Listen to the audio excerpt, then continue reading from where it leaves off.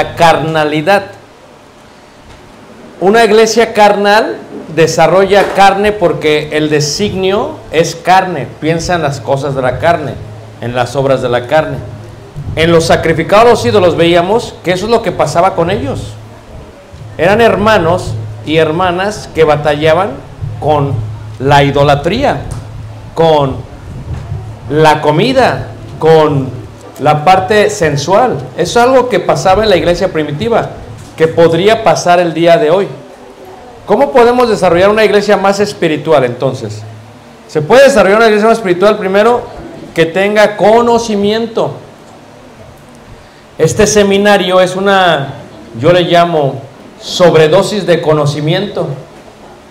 Porque si hoy en día que estuvimos desde la mañana y si Dios nos da vida y salud hasta la noche, ¿cuántas horas es como estar viniendo a la iglesia todo un mes o dos meses?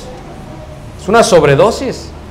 Entonces, es muy bueno que usted en su casa tenga el hábito de estudiar su Biblia. Y que estudiando su Biblia vea lo que aprueba Dios y lo que Dios desaprueba. Fíjate que ahí en primera carta de Corintios, ahí dice también el capítulo 10, fíjate qué sucede con ellos. Primera carta de Corintios, en el capítulo 10, habla acerca de lo que pasó con ellos. Fíjate cómo dice primera carta de Corintios, en el capítulo 10, habla del pueblo de Israel, fíjate. Fíjate cómo habla del pueblo de Israel. Dice así, primera carta de Corintios, en el capítulo, capítulo 10.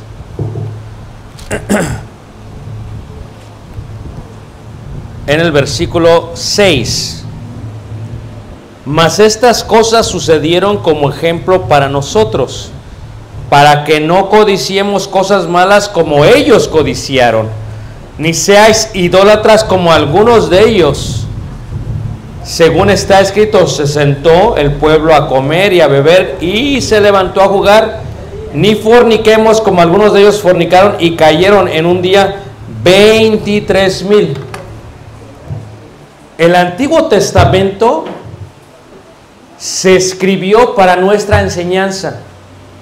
Y podemos ver a través del Antiguo Testamento lo que era el pueblo carnal y el pueblo espiritual.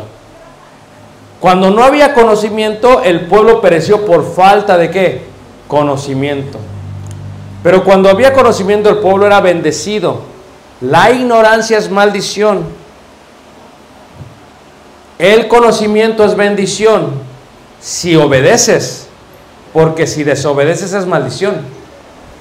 En este caso, ellos pensaban que estaban haciendo bien.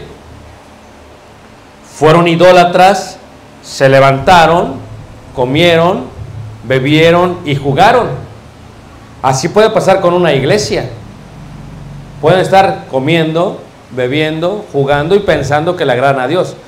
El conocimiento lo que hace es que aclara, define, detalla lo que está bien y está mal. Entonces, si usted estudia su Biblia, si usted estudia, estudia, estudia, estudia y conoce y conoce y conoce y se profundiza en la escritura, usted va a ir creciendo para caminar correctamente con Dios. Porque ayer cuando hablamos de este concepto de la inteligencia, el conocimiento, el entendimiento, la sabiduría y el hacer, todo esto tiene que ver, para que uno pueda hacer, tiene que obedecer. Una iglesia que conoce y no obedece es rebelde. Una iglesia que conoce y obedece es una iglesia que agrada a Dios. Una iglesia que conoce y desobedece trae sobre sí la ira de Dios a los hijos de desobediencia. Pero una iglesia que obedece después de conocer es una iglesia que recibe bendición. Entonces, ¿qué debería yo de conocer? Pregunta el hermano. ¿Qué debería yo de conocer? Yo debería de conocer la voluntad divina. Eso es lo que debería de conocer, la voluntad divina. ¿Por qué? Porque cuando yo conozco la voluntad divina, sé lo que debo y no debo de hacer. Ustedes cuando no sepan si algo está bien o mal, estudian en su Biblia. Y después pídanle a Dios. Y Dios les dará sabiduría. Si alguno tiene falta de qué? Sabiduría, pídala a quién? A Dios. Pero una cosa puedes hacer para ver si tú eres carnal o espiritual. Si lo que haces te da vergüenza que lo sepan los hermanos, no es buena señal. Lo que harías, lo harías en público o enfrente de los hermanos. Si dices no, no es buena señal. Indica que te da vergüenza. Y la vergüenza la puso Dios en el ser humano para que el ser humano entendiese cuando algo está bien o está mal. Tú fíjate, el niño pasó aquí y le hablé yo. Se llenó de vergüenza. Antes de que le hablara estaba caminando, se llenó de vergüenza y luego se fue para allá. Uno a veces anda en un camino y necesita que alguien le diga que está mal y espera que tenga vergüenza para que lo deje de hacer. Porque si no lo deja de hacer es un gran problema. Entonces, ¿cómo sabemos que la iglesia es carnal o espiritual y cómo podemos desarrollar? Primero, conocimiento y luego entendimiento. El entendimiento es importante porque el entendimiento es, entiendo lo que dice Dios. A ver, ya no hay Apolos el día de hoy, pero ¿qué sería un ídolo en Ecuador? Puede ser. Ándele. Puede ser. Puede ser. Es una pasión que se puede desordenar. Entonces, ¿qué sería un ídolo? ¿Ah? El trabajo. Entonces uno tiene que ser medido en esa parte. Entonces cuando hablamos del entendimiento, ¿qué está bien y qué está mal? Que Dios nos entendimiento. Y la sabiduría es la aplicación. Ya aprendí. A ver, tal vez a alguno de aquí le gustaba bailar. Ya oí que dijo el hermano que no es correcto. Vaya a buscar a su Biblia y vea cuándo, cuántas veces bailó el pueblo de Dios. Vea qué pasó cuando bailó Herodías. Y vea si bailar es algo espiritual o carnal. Entonces, ya que tú lo ves, pides a Dios entendimiento y entonces lo empiezas a aplicar.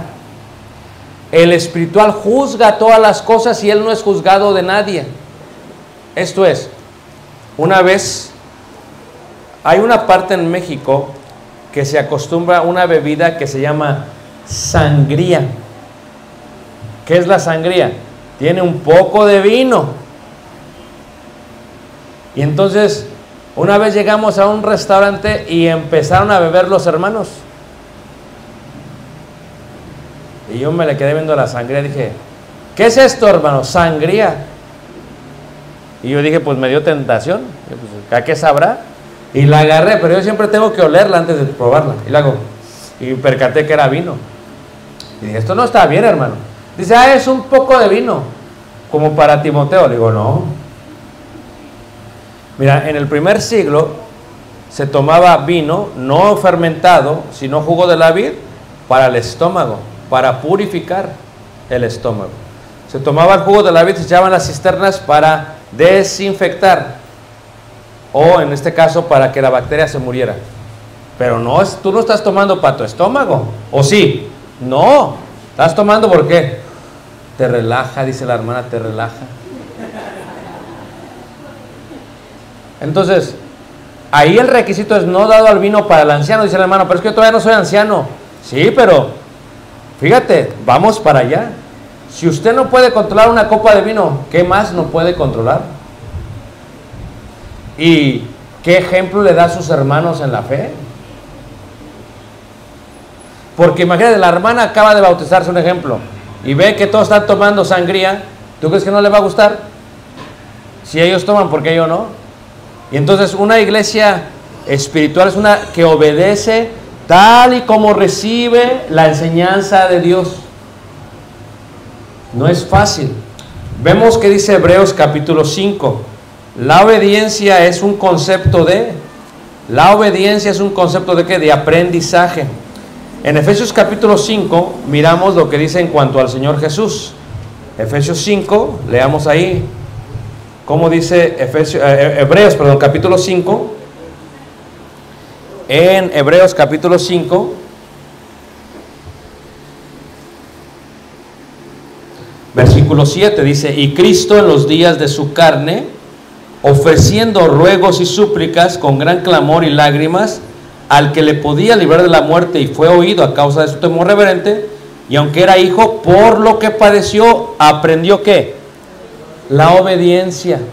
A ver, les voy a preguntar, ¿cómo aprenden sus hijos la obediencia?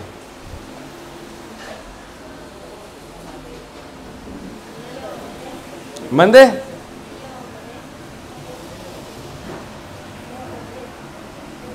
Pero, ¿cómo le enseña a usted que obedezca? Corrigiéndolo. ¿Qué ha hecho para corregirlo, hermana?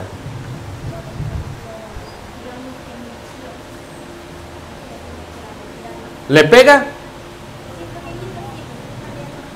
No, pero ¿le- ¿les pegó o no les pegó? ¿Eh? ¿Y por qué no le pegó? ¿Por qué le pegó? ¿Ok? ¿Le estás enseñando a qué? A obedecer. Es algo que se aprende, hermanos. El niño le pegas de pequeño, dice, ok, no obedecí, me pegó. El dolor que siente el niño no es grato, pero le hace aprender. La próxima vez que le quiera mentir va a decir, si le miento a mi madre, me va a qué? A dar y más que duro. ¿Cómo Dios nos enseña a que aprendamos la obediencia? Fíjate cómo dice la primera carta de Corintios capítulo 11 en el versículo 29 y 30. Primera carta de Corintios capítulo 11, 29 y 30. Fíjate cómo dice ahí. Primera de Corintios capítulo 11, 29 y 30. Fíjate cómo dice ahí la palabra de Dios. Dice,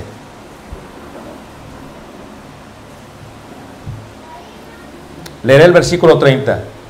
Por lo cual hay muchos enfermos y debilitados entre vosotros y muchos duermen. Si pues nos examinásemos a nosotros mismos, no seríamos juzgados. Mas siendo juzgados somos castigados por quién, hermanos? Por el Señor. Esto es, a veces oyes el sermón, no lo haces y Dios qué? ¿Vas a entender o no? A ver, ¿quién ha sentido alguna vez la reprensión del Padre Celestial? Sí. Dice que no somos bastardos, sino que somos hijos. ¿Qué es un bastardo? Una vez llegó una hermana bien triste y dice, hermana, yo no sabía que, que yo era eso. Le digo, ¿por qué? Dice, porque el bastardo es el hijo que se tiene fuera del matrimonio. Y si tu mamá quedó embarazada y no estaba casada, pues tú eres bastardo. Entonces, ¿qué es bastardo? No es reconocido por papá y mamá. Y Dios es un Padre Celestial y nosotros somos hijos. Si se nos azota, porque Dios al que ama disciplina, Hebreos 12:6.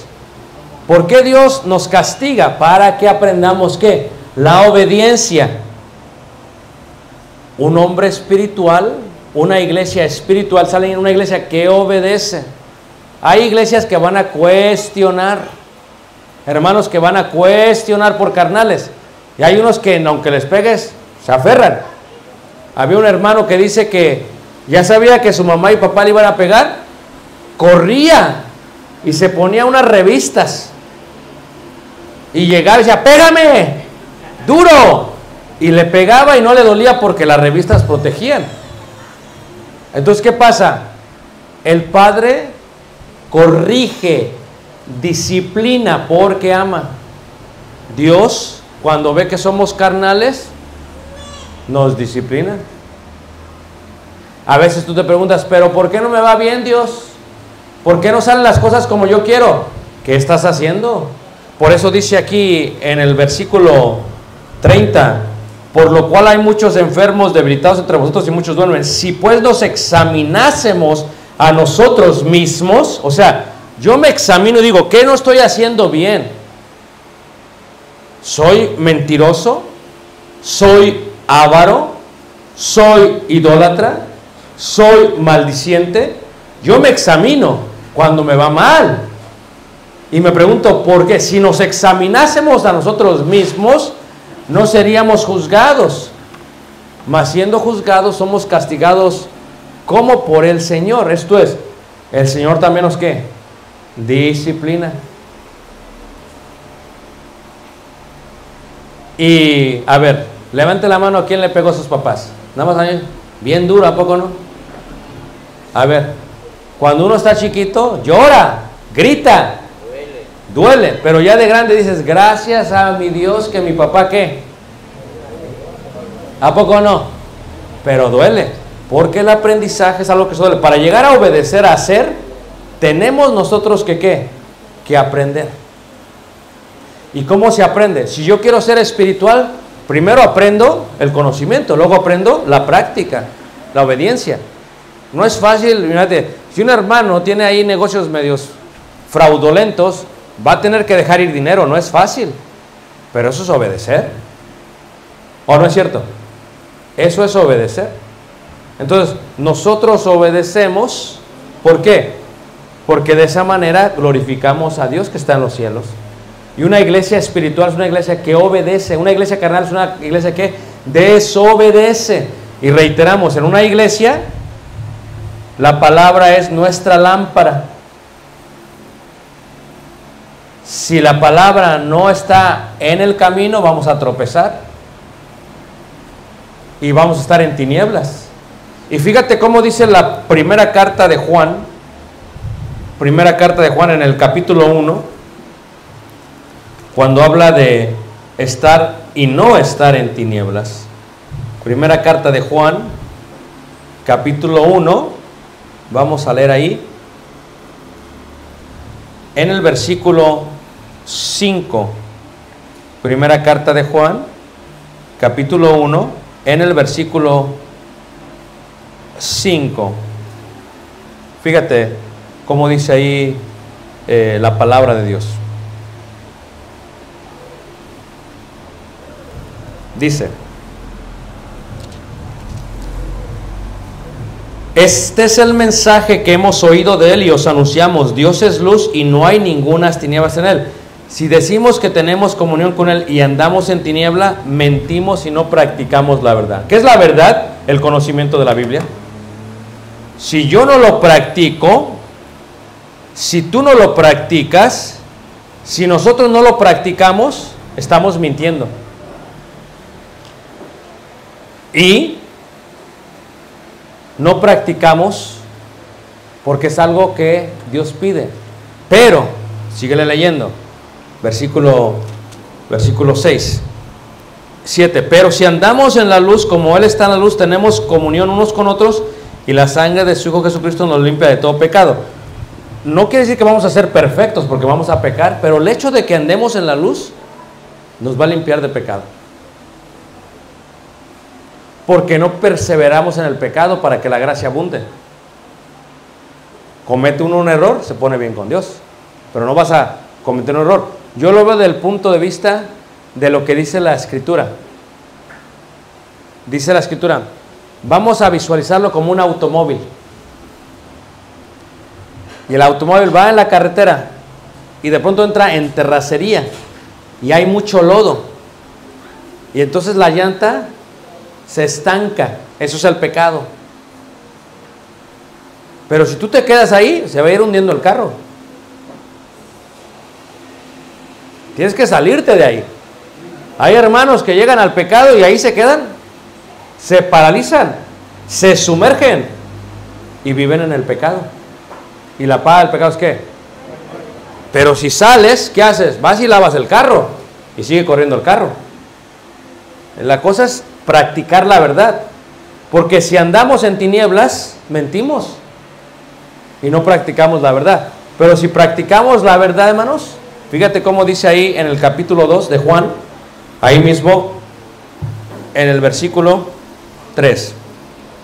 2, 3 de la primera carta de Juan. Y en esto sabemos que nosotros le conocemos. ¿Cómo digo? Si yo digo yo conozco a Dios, yo tengo conocimiento de Dios, si guardamos qué?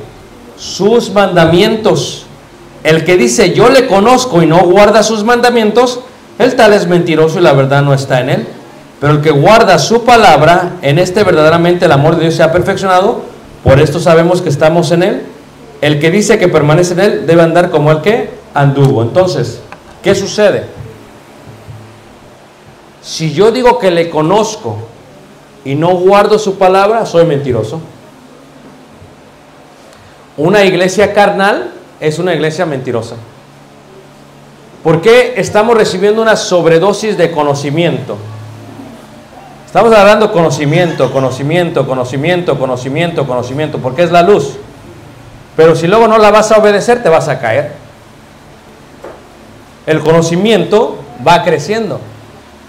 El conocimiento envanece, pero el amor que edifica. Entonces yo tengo que crecer, crecer, crecer. Pero tengo que aprender a obedecer. ¿Qué está mal en mi vida? ¿Qué está bien en mi vida? ¿Qué está mal en mi vida? ¿Qué está bien en mi vida? Si yo aborrezco a una hermana, ¿está bien o está mal? Lo sabemos, lo practicamos. Porque a veces aborreces a un hermano o hermana y le metes la zancadilla para que le vaya mal. A veces la aborreces y no la quieres saludar. Hay hermanas que se enojan con otra hermana y ve la hermana caminando aquí por el pasillo y ve la hermana y no la saluda, se da la vuelta. Eso no es andar en luz. Si andamos en luz, nos perdonamos unos a otros. El hermano sabe que la iglesia, que el testimonio, que el obedecer no se encuentra solamente en forma pública. Todo el tiempo está el hermano obedeciendo. Todo el tiempo está el hermano obedeciendo. Aún en los secretos de su cuarto está obedeciendo. En el corazón y en la mente está obedeciendo. ¿Por qué? Porque esto es lo que le agrada a Dios. Regresamos al punto. ¿Cuántos de ustedes quieren ser espirituales? ¿Qué tenemos que hacer? Llenarnos de conocimiento. Pero cuesta trabajo. Me dijo un hermano, es que hermano, yo leo y no le entiendo. Me duele la cabeza.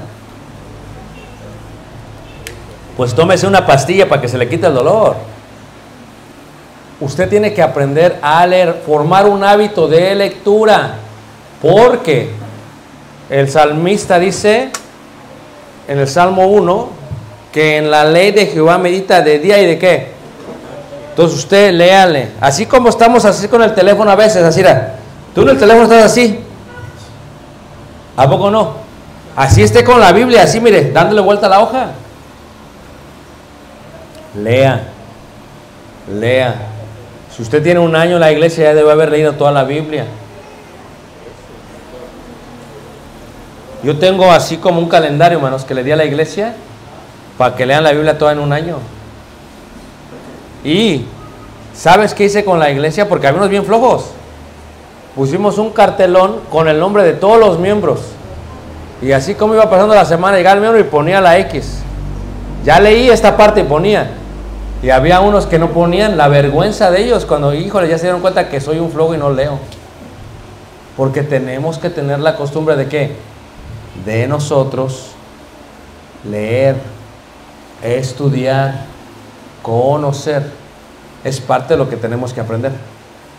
Conocimiento, conocimiento, conocimiento, conocimiento.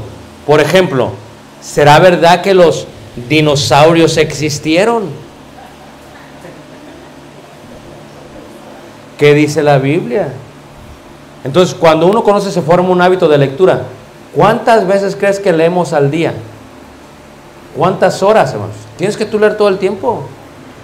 ¿O cuántas horas pasas en el teléfono? ¿Cuántas horas pasas viendo la tele? ¿Cuántas horas pasas platicando con la vecina? ¿Cuántas horas pasas? Tienes que aprovechar y leer, leer, porque así recibes conocimiento. Y luego orar, orar. Pero luego lo, que es importante es obedecer, porque cuando uno obedece, se hace una iglesia espiritual. Porque si no obedeces, no vas a ser espiritual. Y no solamente se ve mal que no obedezcas, sino la gente te ve que no obedeces y eres un mal ejemplo como hijo de Dios. Por eso tienes que obedecer, mijo. ¿Vas a obedecer o no? Oye, te hablo a ti. Oye, ¿vas a obedecer sí o no? Obedece a tu mamá y obedece a tu papá.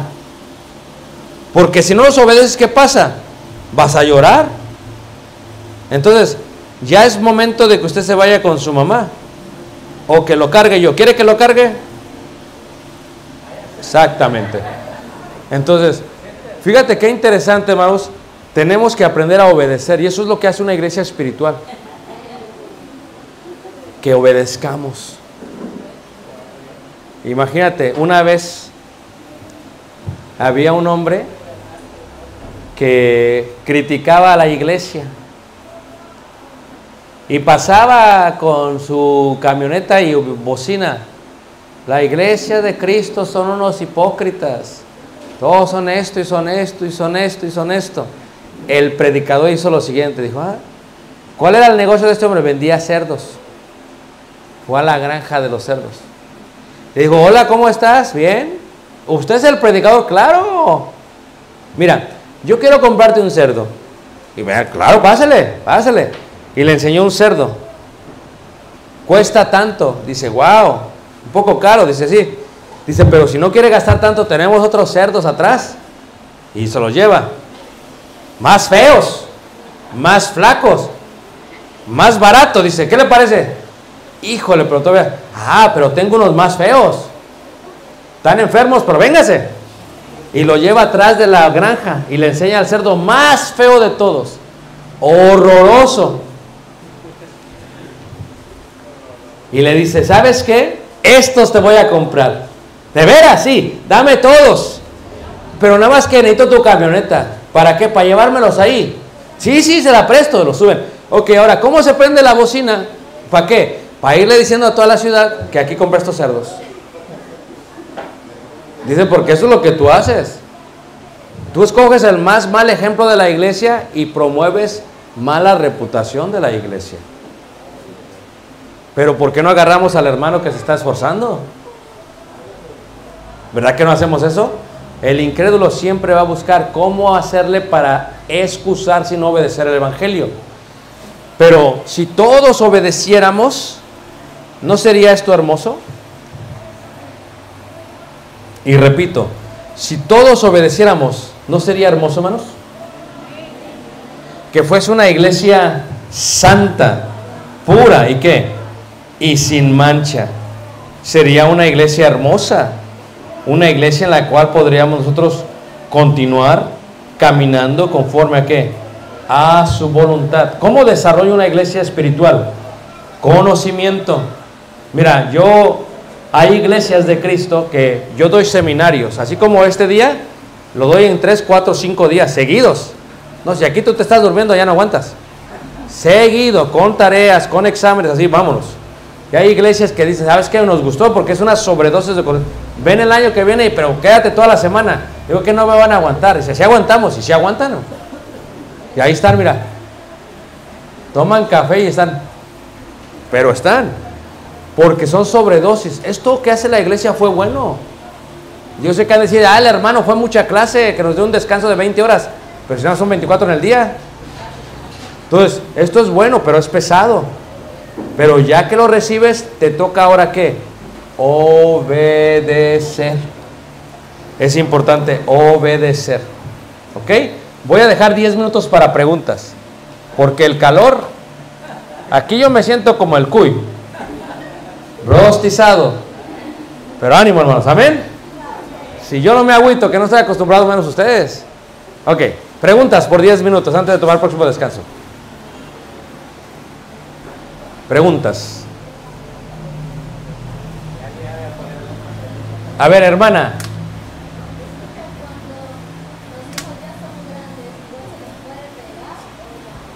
Cuando los hijos son grandes, ¿se les puede pegar? Ya no. Usted se contestó. Miren, uno tiene que aprovechar cuando son pequeños para infundirles el temor de Dios y el miedo. Mira, mi hijo tiene 14 años y mide cerca de 1,90, es alto.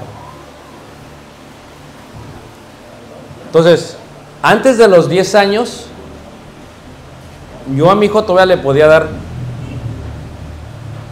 Pero si yo le pego todavía ahorita, me va a descontar. Entonces, pero tienes tiempo cuando son pequeños para que te respeten. Yo lo regaño todavía. Y se agüita así todo agüitadillo. Yo te dije que esto que. Y ya está. Entonces, ya de grandes, la táctica de pelearles no funciona. Porque los vas a provocar a ira. ¿Me entiendes? La pregunta es ¿hasta qué edad? ¿Hasta qué edad? Porque tienes que llegar a un momento que les hablas como personas. Yo a mi hijo ya lo trato como adulto, usted ya es un hombre ya, y lo regaño así como un adulto, como un hermano, porque también es mi hermano en Cristo y nosotros tenemos un Padre Celestial. Entonces no lo puedo estar golpeando, azotando. Pero cuando era chiquito le di. Yo tenía una cuarta, ¿saben qué es una cuarta? Lo que hace, me lo regaló un hermano del norte de México. Es, como un látigo de piel para los caballos. Y yo en la casa la colgaba ahí la cuarta y le pegué nada más una vez con la cuarta. Y duele, ¿eh? Entonces ahí la tenía. Yo nada más cuando lo veía le hacía punto arreglado. Pero cuando hacía mal tenía que pegar. ¿Por qué? Porque le infundes el temor de Dios. La vara corrige al muchacho, dice la escritura. Si no hay vara, te va a avergonzar, avergonzará a su madre cuando sea grande. Entonces hay hijos que no respetan. Hablan a la mamá como si fuera la hija.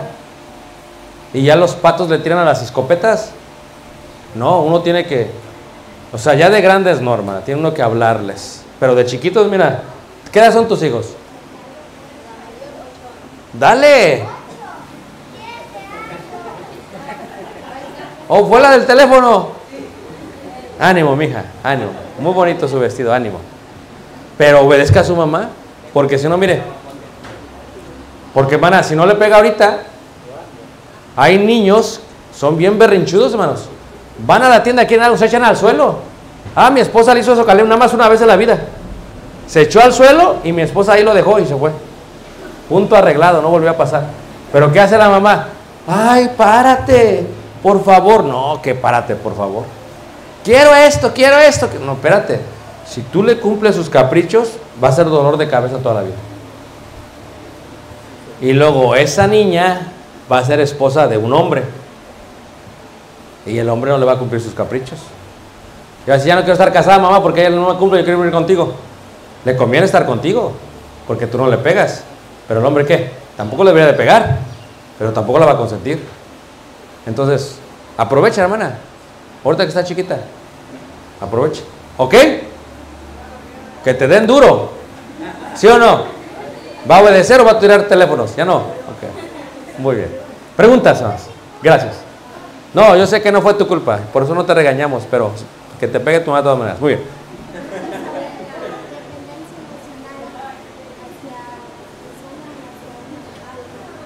La dependencia emocional Bueno, no está en la clase, pero lo voy a explicar. Hay, hay cuatro tipos de apego. ¿Ok? Hay cuatro tipos de apego.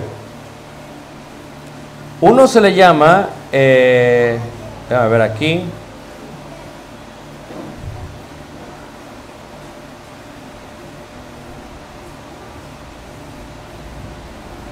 Uno se le llama el apego seguro.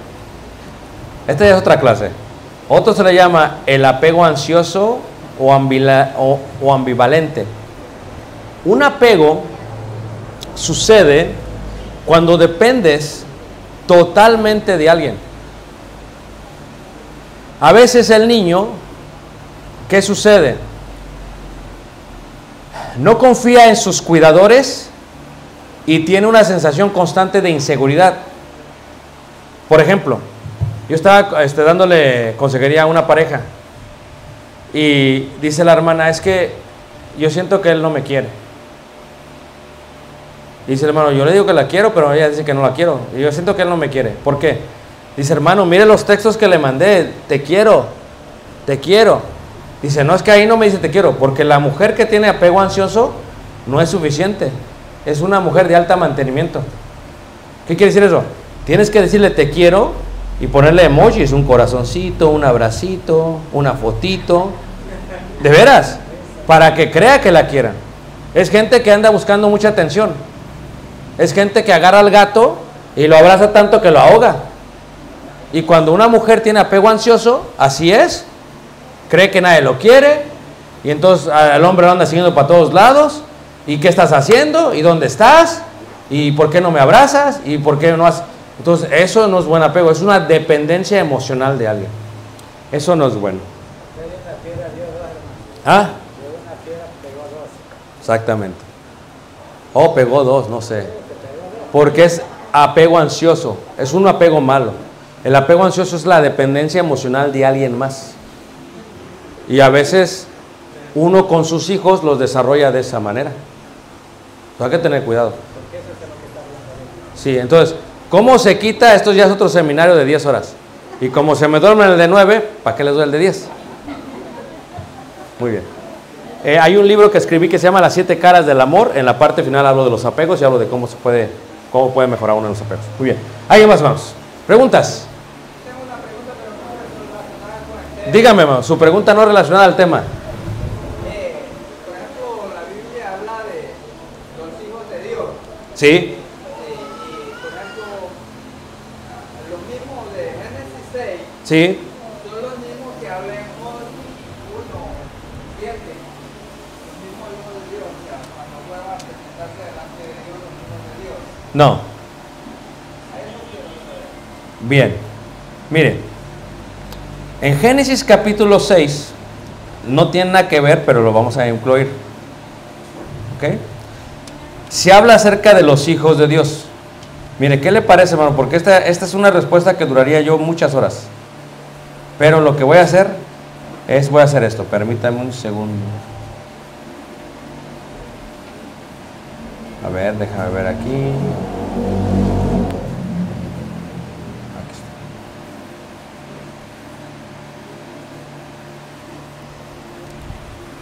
está. Yo di una clase que duró dos horas, solamente hablando de los hijos de Dios.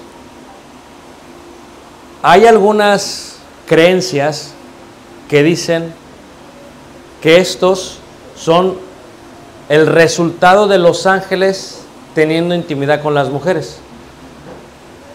No.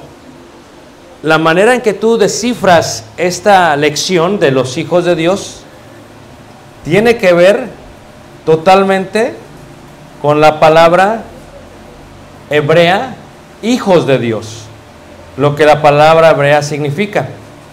Esto es, la palabra hebrea hijos de Dios viene del griego el lokhim, que significa jueces de Dios. ¿Ok? Mire, esto es un tema de angiología.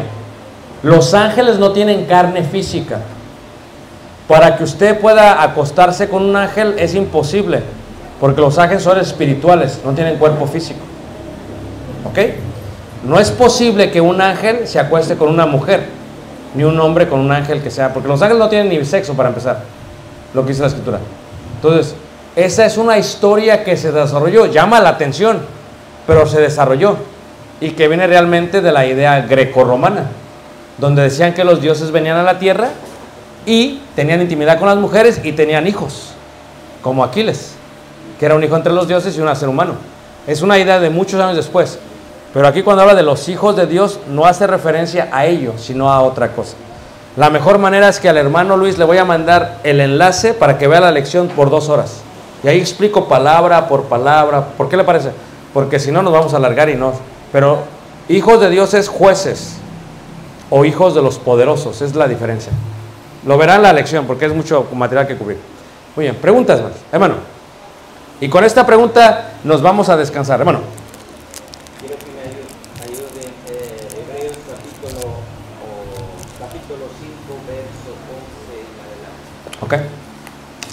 Hebreos capítulo 5, 11 en adelante. ¿Quién habla o a quién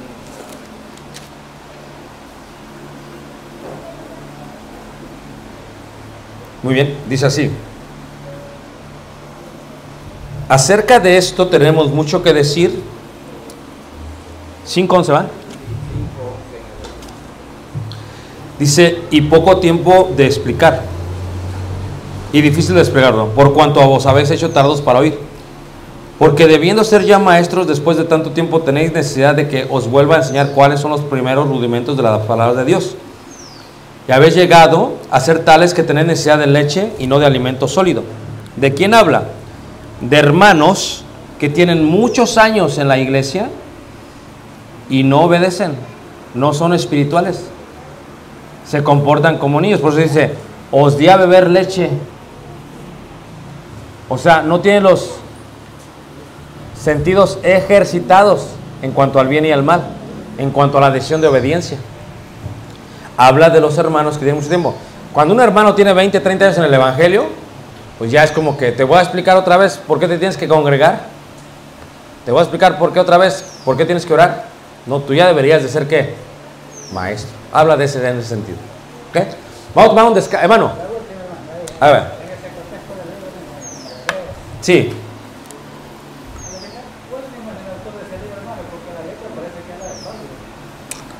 No sé. No sabemos. Ha, ha habido cuando uno, yo doy una clase muy interesante de apología.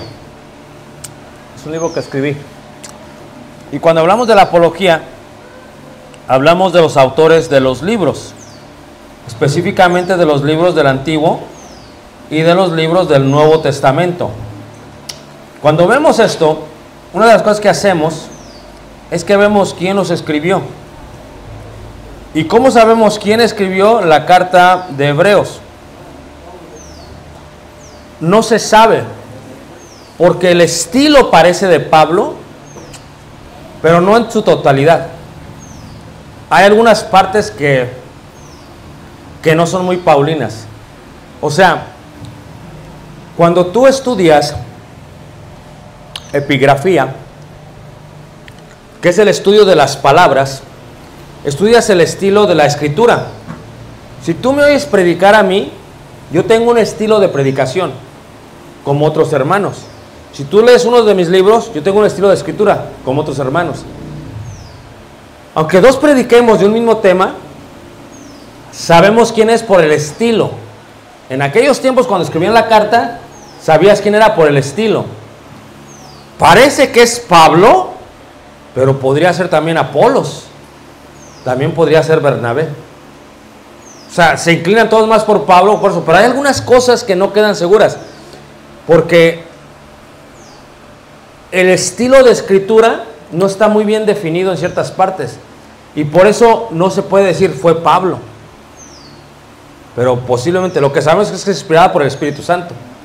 Pero no sabemos si fue Pablo o no.